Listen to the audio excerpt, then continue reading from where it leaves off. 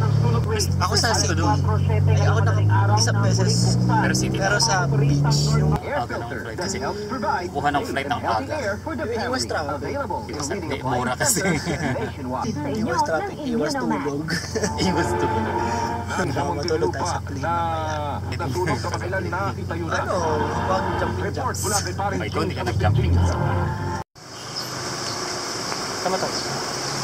Domestic.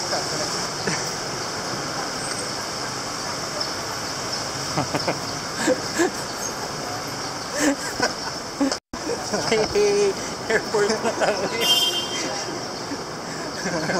Kunya rin nagsasalita, wala pa akong masabi.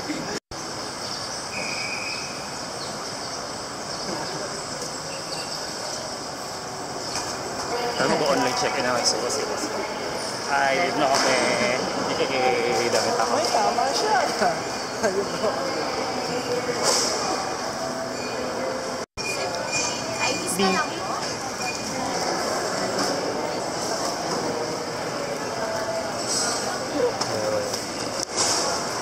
Sir, here's your valid IDs. Present na lang upon boarding together with your boarding passes. You're in gate number 12. Um, boarding time is 6.45, bound for Cebu. No check-in package. Thank you. Halik, halik, halik. Tsaka may ano, may lighter. Dapat meron. Pangsindi ng mga Kalan? nila. Ba't nandito tayo? Sa gitna tayo. We're lost. Furlos ang late-late ng airport.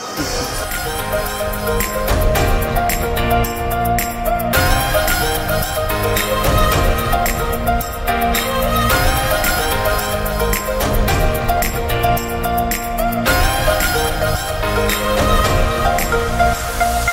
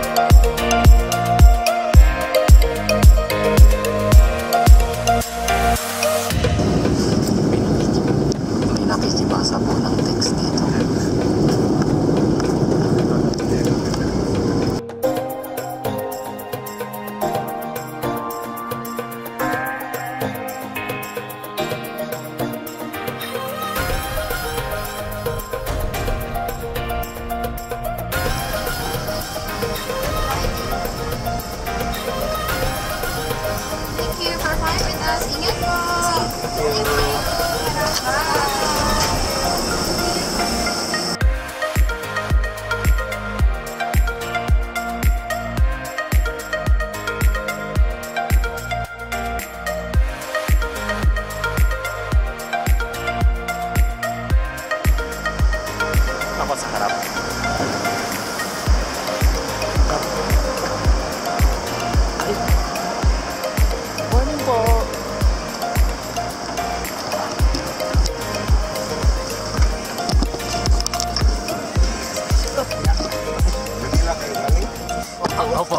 Kasi hindi ko alam na yun sa pagpasok, nagtatanong man kung saan, saan galing yung pasayero mo. Sabi ko, Manila.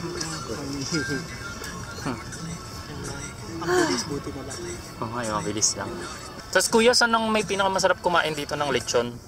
Lechon, Opo. meron nga dito din kung gusto mo. Uh, sa Cebu, marami talaga. Pero meron din dito sa Makan.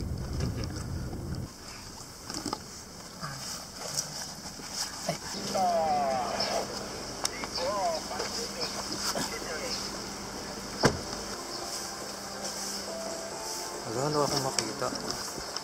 Ang lamig ng sasakyan. Look at my glasses. Wala akong makita.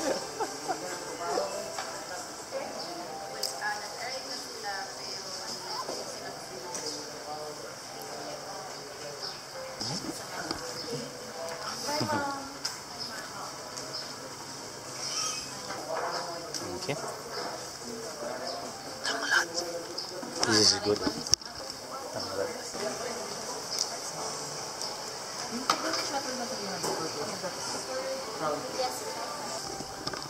guys, we just arrived here at Blue Waters, Blue Water Maribago actually. Blue Water, wala. So Blue Water Maribago.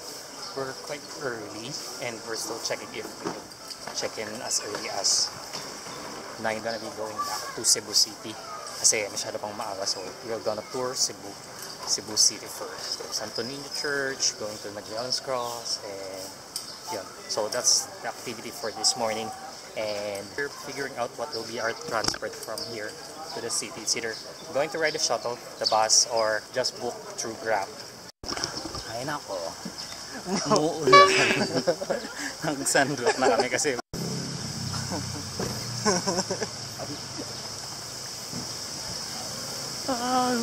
ay saan pa tayo ng jeep? Ha, kita ko. Pag napaganyan. Buo. Ayan. Ah, sige. Alam, so alam ko na ngayon. Buo.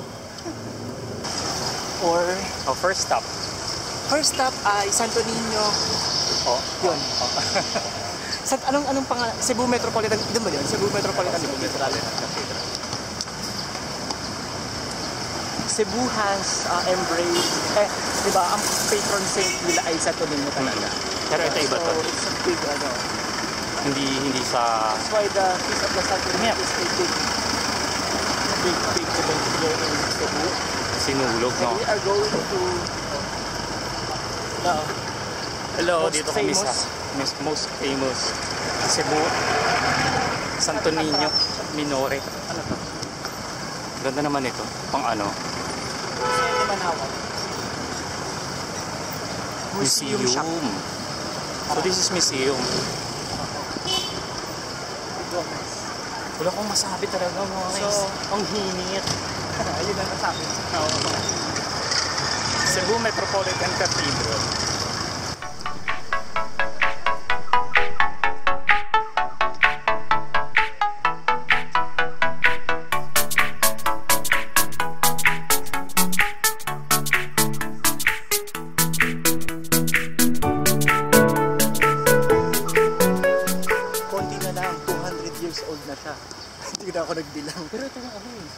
Hindi yung sa tuloy pala.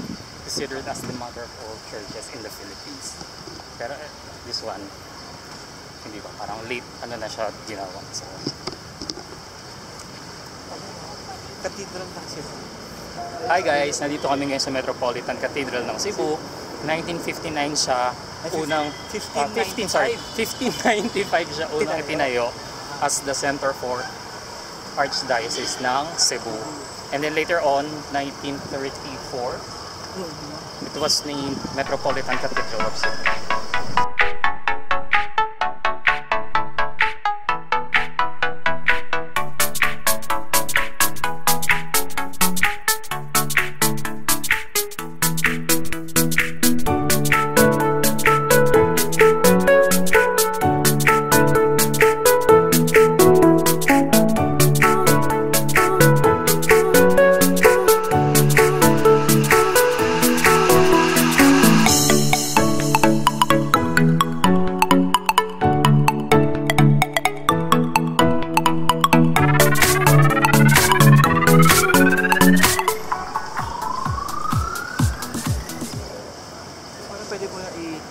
Ko na.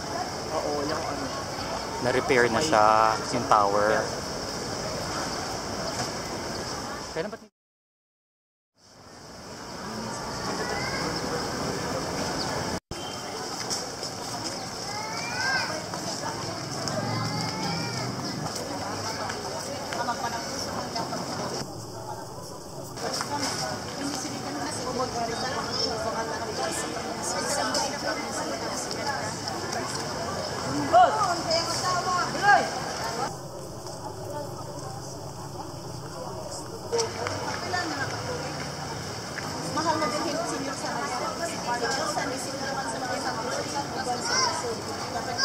Nagkasa nagkasigla mo sila sa Santo Niño. Sila sa kami nagkasa sa paghalang ko ng mga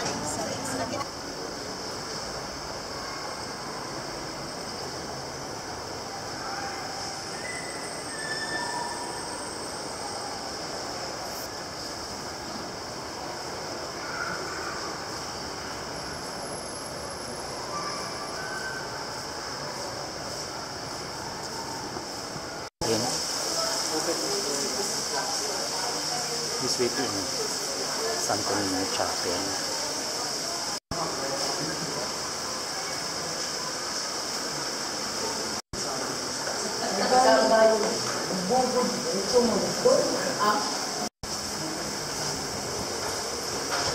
Yung original.